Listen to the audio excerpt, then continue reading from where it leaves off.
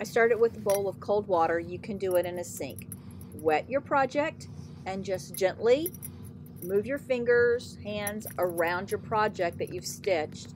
And you'll notice in the water, the Sulky product is starting to lift and it's kind of polluting the water a little bit. So I do cut some of it away so that I don't have a bunch of flakes in my water.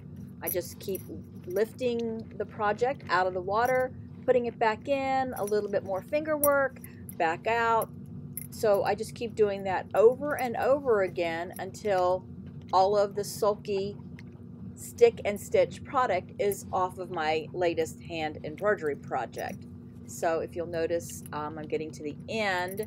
Um, I just keep, I lift it and see there's a little bit right here on the bottom and I just stuck it in there and just that quickly. Now I'll take it, once it dries, I will then press it um, and there's no product left. So that's how easy it is to remove this, this product from your latest hand embroidery project.